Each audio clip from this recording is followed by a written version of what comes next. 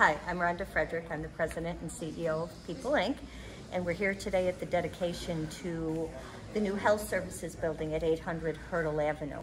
This is a collaborative partnership with People Inc., Evergreen Health, ECMC Dental Services, and People First Mobility.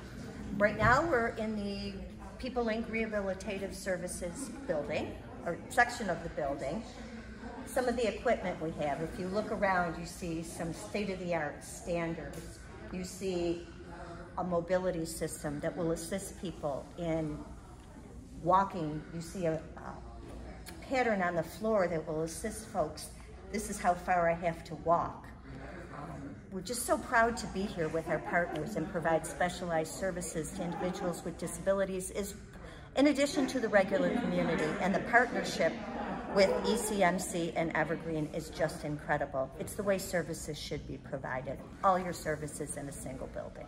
Um, we are moving our Elmwood Health Center down here to 800 Hertel.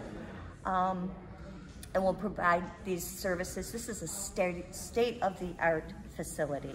It's been specific, specifically designed for healthcare and will just provide, as you can see, beautiful space all the pods for medical services so practitioners can be together and work as a team. That's the name of the game, is teamwork.